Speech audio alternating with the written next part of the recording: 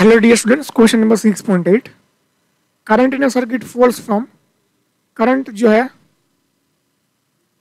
Five to zero गिरता है। Delta T कितना टाइम लेता है ये?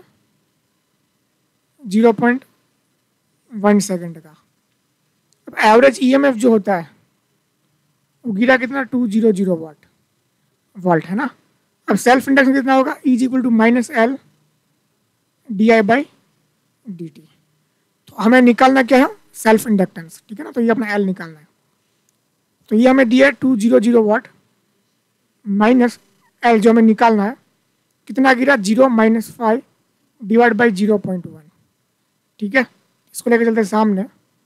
तो L is equal to two zero zero into zero point one और ये हो जाएगा फाइव तो एल इज़ इक्वल टू हो गया आपका बीस बटे पाँच फोर फोर हंड्रेड आपका हो जाएगा आंसर है ना?